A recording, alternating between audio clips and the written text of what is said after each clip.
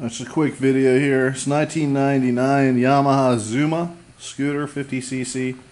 Uh, I picked this up for $40. Had a blown engine.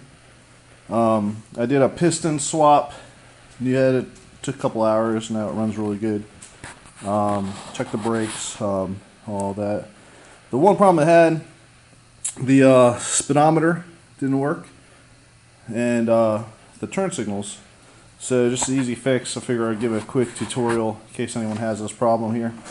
Um, it's pretty easy. You got to take off the front panel here. Um, it's a screw here, one screw here, screw here, and then it separates. And then what you're going to do is take off the screw here, the screw here, and you're going to pry it open a little bit, but you don't want to go too far because you don't want to break the, these two screws here. And what you're going to do is stick your hand inside, unscrew the speedometer, and then once that separates, you can open this up. Okay, you can trace the speedometer cable down. And what I had was the speedometer cable was broken. So right here, speedometer cable is broken inside the speedometer gear. So if you look right here, this is where the speedometer, it would sit right here against the wheel. The speedometer cable seats inside just like so. Okay. And what happened was the wire broke, the speedometer cable broke in there, broke off. Um, this is how it works. Um,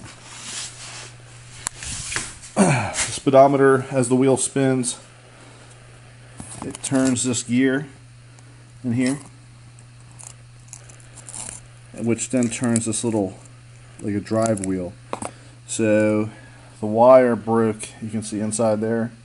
I ordered a new wire. Um, I couldn't get the wire out of the worm gear here, so I just ordered this whole piece.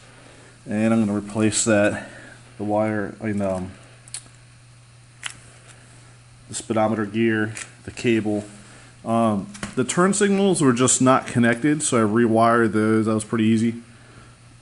And now everything works. Um, Scooter's actually pretty fast. I adjusted and torqued down the brake. Everything works factory specs right now. So um, once I get everything back together, I'll uh, do another quick video.